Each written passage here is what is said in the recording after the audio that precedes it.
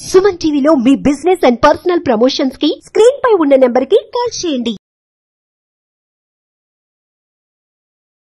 నమస్కారం గురుగారు. ఆశీర్వచనం తల్లి.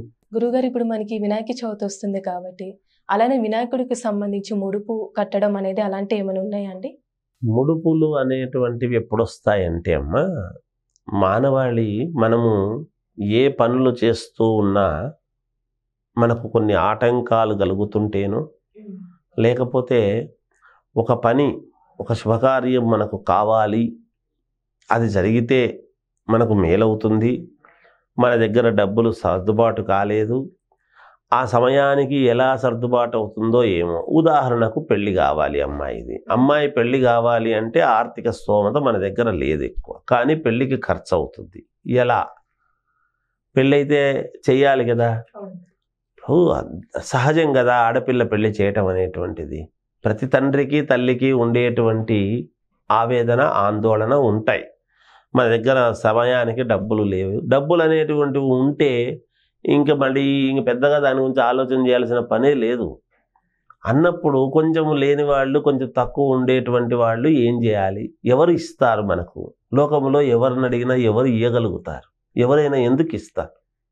మన ఇంట్లో పెళ్ళికి మనం చేసుకోవాలి. ఎవరైనా ఎందుకు ఇస్తారు? నేనున్నాలే అని. ఎవరు ఇవ్వరు. ఇవ్వాలని కోరుకోవడం కూడా తప్పే. అయితే మనకు అవసరము. ఎలా? ఇవన్నీ తర్జన భర్జనలు అన్నీ ఉంటాయి. అన్నిటికీ కూడా మనకు అవసరము మనకు ఆ నిర్ణయం వచ్చేటప్పటికి ఏమొస్తుంది అంటే భగవద్ అనుగ్రహం అవసరము అనేటువంటిది. ఆ భగవంతుడి యొక్క అనుగ్రహంలో కూడా మొట్టమొదట మనము ఆలోచన చేసేది ఏమిటి? మనము చేసేటువంటి పని కార్యక్రమము ఏదైనా నిర్విఘ్నముగా సాగాలి. ఈ వివాహము మా అమ్మాయిది జయప్రదముగా దిగ్విజయముగా జరగాలి అనేటువంటిది ఉన్నప్పుడు ఎలా అనేటువంటి భావనతోనే వాళ్ళు మొట్టమొదట కొన్ని బియ్యము కాస్త ధనము ముడుపుగట్టుట అనేటువంటిది ఒకటి ఉంటుంది. అది మంచి రోజు చూసి ఎప్పుడు ముడుపు కట్టాలి. ఆ ముడుపు కట్టినప్పటి నుంచి ఇంకా పెళ్ళి పనులు ప్రారంభమవుతాయి అనేటువంటిది ఒకటి పెట్టుకున్నారు సమాజంలో. తర్వాత పసుపు దంచడము శుభకార్యము శుభంగా. పసుపు దంచడము అనేటువంటి లక్షణకరము. లక్షణకరమైనటువంటి పసుపు దంచడము అనేటువంటిది ఏమిటి అంటే ఆ కార్యక్రమం సజావుగా జరగాలి. ఇలాంటివి కొన్ని ఉన్నాయి. ఇలాంటి వివాహానికి అనేటువంటిదే కాదు.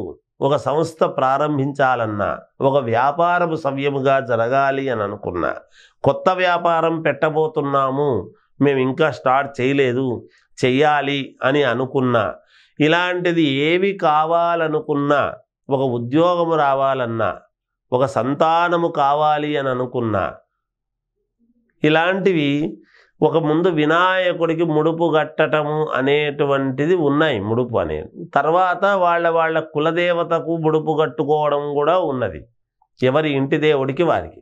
కొంతమందికి శ్రీ వెంకటేశ్వర స్వామికి కలియుగములో మరి ప్రత్యక్ష దైవము కదా వెంకటేశ్వర స్వామి అలా వెంకటేశ్వర స్వామికి ముడుపు కట్టడము కూడా ఉన్నది. పరమేశ్వరుడికి ముడుపు కట్టడం అనేటువంటిది ఉన్నది. అలా ముడుపులు అనేటువంటివి భగవంతుడికి సంబంధించినటువంటిది. వాళ్ళ వాళ్ళ దైవాన్ని అనుకుని ఇంత ముడుపు కట్టడము అనే అంటే ఇది దేవుడికి. మొట్టమొదటి ఇది నేను దేవుడికి ఇది నేను సమర్పించుకుంటున్నాను అని. అంటే దైవాన్ని అనుకోవడం. అనుకోవడంలో ఊరికే అనుకోవడము కాకుండా లోపల మానసికంగా అనుకోవడమే కాకుండా భౌతికంగా భౌతికంగా కార్యాచరణలో అది ముడుపు గట్టి కొన్ని బియ్యం ఒక ఐదు పెరికెళ్ళు బియ్యము మూడు పెరికెళ్ళు అలా బియ్యము ధనము పెట్టి అంటే ధాన్యం ధనం. ఈ రెండు కూడా కావాల్సిందే కదా. ధాన్యం అంటే మనము బియ్యం అని అనుకుంటాం మనం.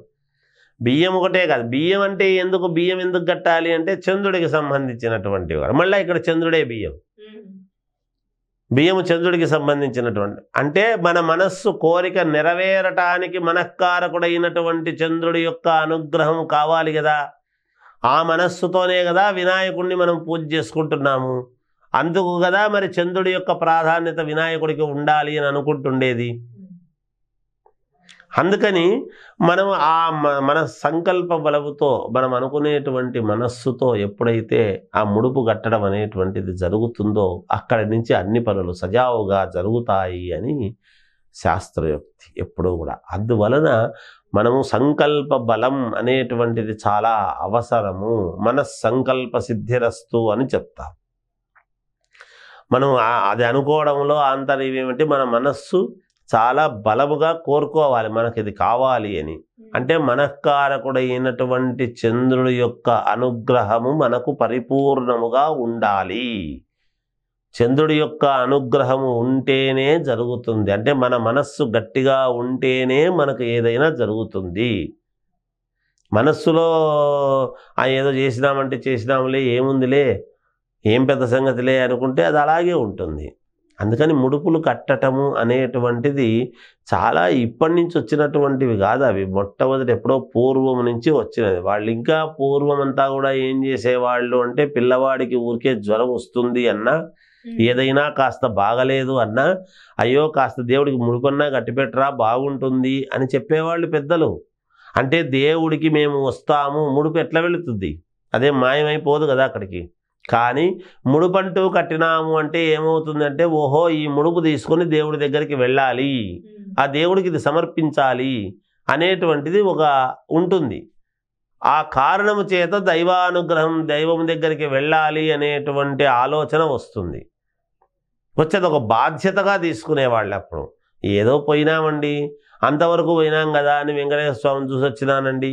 ఏదో అంతవరకు పోయినాను కదా అని శ్రీశైలం వెళ్ళొచ్చానండి అని కాకుండా అదే పనిగా దైవం దగ్గరికే దైవము దర్శనము కోసమే అదే పనిగా సెలవు పెట్టుకొని కానీ సమయం తీసుకొని కానీ దైవం కంటే ఏది ఎక్కువ కాదు కదా. మరి ప్రతిదానికి మనకు కావాల్సింది దైవము అనుగ్రహమే కదా. అందువలన ఆ సమయానికి తగ్గట్టుగా ఆ ముడుపులన్నీ కూడా తీసుకొని ముడుపు తీసుకొని వెళ్ళేవాళ్ళు. ఇప్పుడు ఈ వినాయక చవితి పండుగలలో కూడా ముడుపులు కట్టుకొని ఇంకా పండుగలు వచ్చినాయి కదా మనకు ఏదైనా కార్యక్రమాలు కావాలి మనకు ఇది దృఢ సంకల్పంతో ఇది కావాలి అనుకునేటువంటి వాళ్ళు వినాయకుడికి ముడుపు కట్టి ఎక్కడైనా వినాయకుడి గుడిలో ఇవ్వటము కానీ చేయడము కానీ చేస్తే వాళ్ళ వాళ్ళ పనులన్నీ కూడా సజావుగా జరుగుతాయి గాక. చాలా చక్కగా వివరించారండి. ధన్యవాదాలు.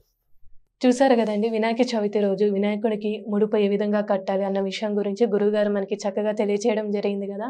అలానే మీ జాతకానికి సంబంధించి కానీ మీ ఇంటి వ్యాపార వాస్తు సంబంధించి ఎలాంటి విషయాలైనా తెలుసుకోవాలనుకుంటే స్క్రీన్ మీద కనిపిస్తున్న నెంబర్కి కాల్ చేసి గురువుగారిని సంప్రదించవచ్చు.